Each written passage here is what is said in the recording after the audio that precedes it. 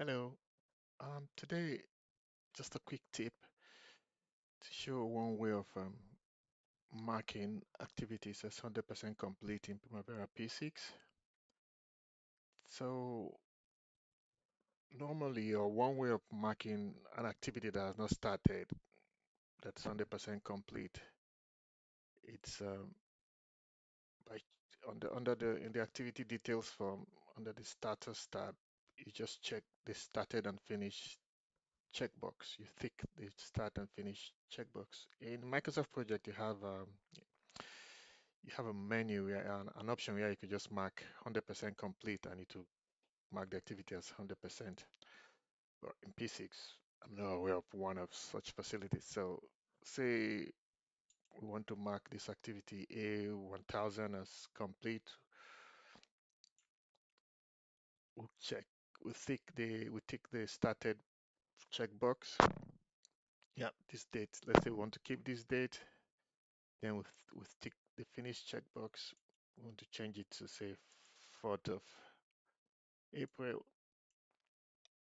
That's it. You see, we've had to tick two checkboxes, but there's a way to save to save time. Save you just save like 10 seconds or five seconds. You don't need to click and tick both checkboxes. So for this activities A for this activity A 1010, if we say it's 100% complete, instead of ticking the first and second checkbox, we just tick the second checkbox, the finish checkbox. For an activity to finish, it must have started, so it automatically ticks the started checkbox for you. You can come here, change the start date. So for this, we say start on the 5th. And this, yeah, this is fine for the for the 16th. And that's it. So I'll repeat it again. You want to mark this as 100% complete. Tick the finish checkbox and it it's also tick the start started checkbox for you. That's it for the first tip. Um, for the second one, it's a way of um, navigating to date prompts. So let's say this activity A1050, we've been told it was meant to start on the 22nd of April, and we've been told it no longer it will start to now start say the 5th, sometimes in July. So let's I don't like using constraint, but for the purpose of this demonstration, I'll use one. Let's say we want to put a start on or later on on or after constraints. So we go to July now. One way of navigating to this date prompt, it's either you click through these arrows, you click one June,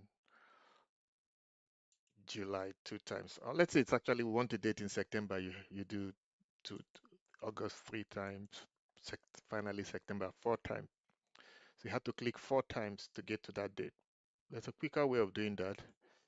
You just come, you click on the month,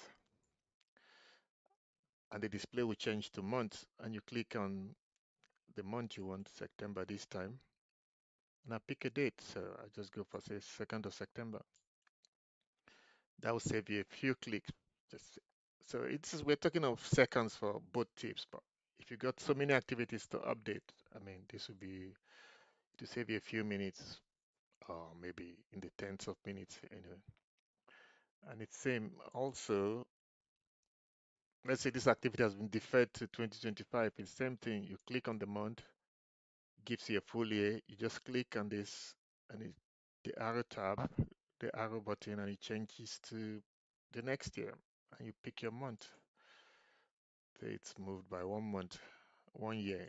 You pick 2025. Yep, that's all for today. I did tell you to be a quick one. Take care and enjoy your weekend.